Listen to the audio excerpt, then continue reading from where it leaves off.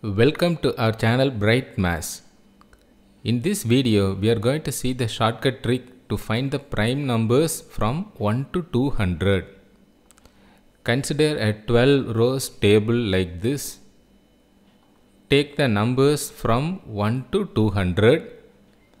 Write it in column wise like this. So start from here 1, 2, 3, 4, 5, 6, 7, 8, 9, 10, 11, 12 and then 13 second column 14 15 etc up to 24 and then 25 third column. So like that we have to enter the numbers column wise up to 200 now see the first five numbers. Here we know that 2 3 5 are prime numbers. So just to see the first five numbers.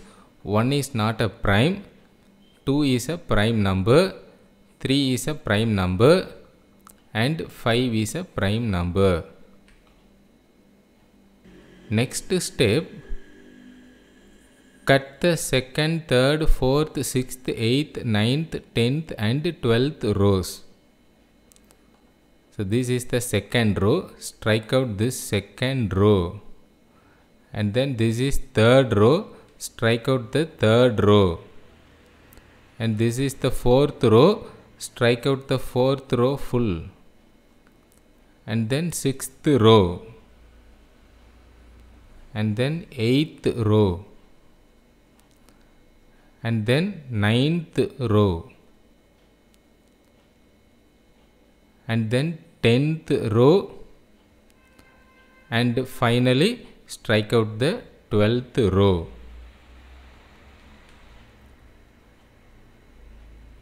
Now we are left with 4 rows that is first row, fifth row, seventh row and then 11th row. We have prime numbers only in these 4 rows. There is one more condition. We have to cut the multiples of 5, 7, 11 and 13. After that we will get all the remaining numbers prime numbers. Multiples of 5 means numbers divisible by 5.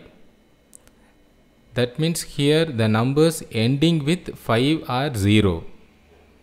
So the numbers ending with 5 are 0 only divisible by 5. That we can identify very easily. And for that there is an easy way. Here see the number 25 just strike out the diagonal having 5 at the end. So here 25 is cancelled. Next we have 85. Here the number is ending with 5. So just strike out the diagonal like this. In this diagonal the numbers are ending with 5 85 75 65 55 45 35 all these numbers are divisible by 5 so we can cancel this diagonal. Next number 145 and just cancel this full diagonal. That is 145 135 125 115 105 95 all these numbers are ending with 5 that means divisible by 5 so we can cancel this Next take this diagonal 195 that is ending with 5. So in this diagonal we have 185, 175, 165, 155. Now we have cancelled the numbers divisible by 5. Next multiples of 7 that means divisible by 7. For that also there is an easy way there are only two diagonals, two crossed lines, but you have to take it in opposite direction. We know that 7 sevens are 49. So remember this diagonal 49 diagonal 49 63 77 91 105 119 all these numbers are divisible by 7 so we can cancel this Next see the number 133 this is divisible by 7 so cancel this diagonal. 133 147 161 175 189 these numbers are divisible by 7 so we can cancel this diagonal. Next for 11 and 13 also there is an easy way. For 11 we know the condition for the divisibility of 11 sum of odd digits equal to sum of even digits. Here we have only three numbers that is 121. Here sum of odd digits that is 1 plus 1 first number plus third number 1 plus 1 2 that is equal to second number 2. So this is divisible by 11. Next number 143. First number 1, third number 3. Adding this 1 plus 3, 4 that is equal to middle number 4. So sum of odd digits equal to sum of even digits. Therefore this is divisible by 11. Next number 187. This also divisible by 11 because first number 1 third number 7 adding this 1 plus 7 8 that is equal to the middle number.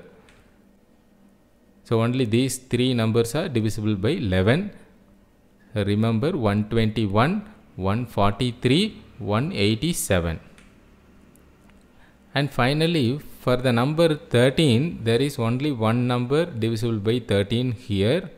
That is 169 this also we can remember very easily because 13 13s are 169.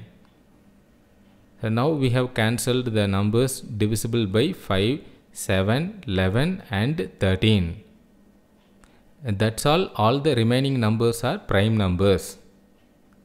Therefore, the numbers are already we have 2, 3, 5 and now 7, 11, 13, 17, 19, 20, 3, 29, 31, 37, 41, 43, 47, 53, 59, 61, 67, 71, 73, 79, 83, 89, 97, 101, 103, 107, 109, 113, 127, 131, 137, 139, 149, 151, 157, 163, 167, 173, 179, 181, 191, 193, 197 and finally 199. These are the prime numbers from 1 to 200. In this way we can find the prime numbers very easily. Thanks for watching.